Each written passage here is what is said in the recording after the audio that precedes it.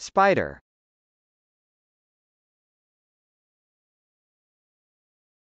Spider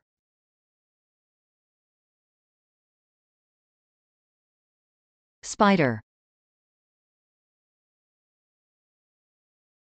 Spider can be a noun, a verb or a name. As a noun spider can mean, 1. Any of various eight-legged, predatory arthropods, of the order Araneae, most of which spin webs to catch prey. 2. A program which follows links on the World Wide Web in order to gather information. 3. A float drink made by mixing ice cream and a soda or fizzy drink such as lemonade. 4. An alcoholic drink made with brandy and lemonade or ginger beer. 5. A spindly person. 6. A man who persistently approaches or accosts a woman in a public social setting, particularly in a bar. 7. A stick with a convex arch-shaped notched head used to support the cue when the cue ball is out of reach at normal extension, a bridge. 8. A cast iron frying pan with three legs, once common in open hearth cookery.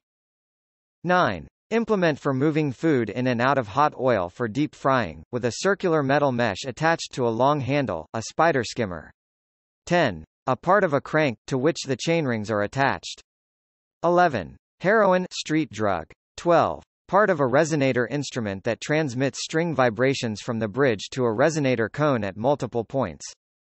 13. A skeleton or frame with radiating arms or members, often connected by crosspieces, such as a casting forming the hub and spokes to which the rim of a fly wheel or large gear is bolted, the body of a piston head, or a frame for strengthening a core or mold for a casting. 14. A soft hackle fly.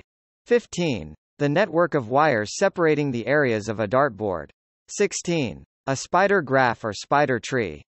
17. A type of light phaeton. As a verb spider can mean, 1.